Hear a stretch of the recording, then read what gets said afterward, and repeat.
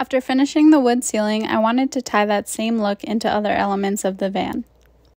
My Uncle Frank helped me make a headboard and footboard out of the same wood. We attached them directly to the wall panels after measuring the correct depth. Then we created a front panel for the sitting area. Next came the upper cabinet, and this was no easy task. I bought a pre made upper cabinet from Home Depot that was the size I needed. However, due to the transit's curved ceilings and angled walls, we had to modify it. My Uncle Frank was the genius behind this. We built a cardboard template that fit the curve of the ceiling and the angle of the wall, and then he cut new sides for the cabinet.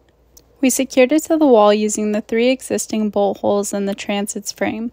You'll definitely need two people to do this, but once it's up, it's super secure. Ultimately, we only ended up using the cabinet doors and hinges from the original cabinet.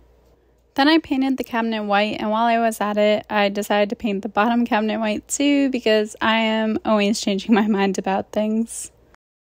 I then attached the cabinet doors, which I had painted separately, and added some knobs to them along with the hardware back onto the lower cabinet.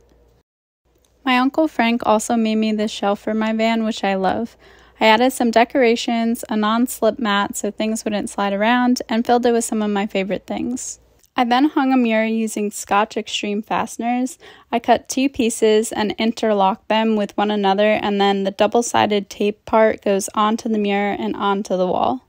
I did the same thing with some of my favorite artwork above my bed.